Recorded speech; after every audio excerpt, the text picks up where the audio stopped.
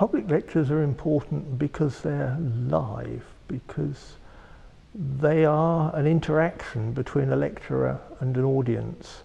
They're not just a, a talking head, they're not just a, a book. It's much easier for an audience to engage with a subject in a live lecture than it is to engage with that subject if they're reading it privately. And even if the lecture is, is videoed and they're watching the video, the fact that it was live brings a, a liveness to the experience that makes it easier to understand and to retain the information in, in my experience.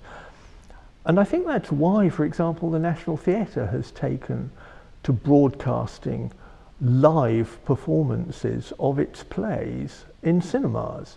And it's the fact that they are live productions that, that makes the experience so powerful, almost as good as, as being there in the theatre. And, and I hope that the online videos from Gresham will be almost as good as, as being actually in the auditorium for the lectures, but, but not quite as good because we do want the audience to come.